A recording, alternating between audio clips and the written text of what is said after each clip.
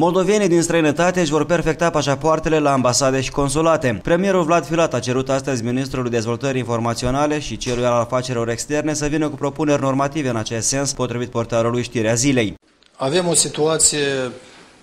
de-a dreptul uh, sfidătoare în adresa celor care nu au posibilitatea să apeleze direct la oficiile care eliberează acte de identitate. Am atras atenția asupra faptului că cei care uh, obțin aceste acte de identitate prin intermediul procurilor sunt puși în situația în care apelează la procedura urgentă să plătească trei prețuri în comparație cu cei care au acces direct pentru a scoate cât mai rapid uh, în implementare o decizie care ar permite ca la ambasadele sau consulatele Republicii Moldova în străinătate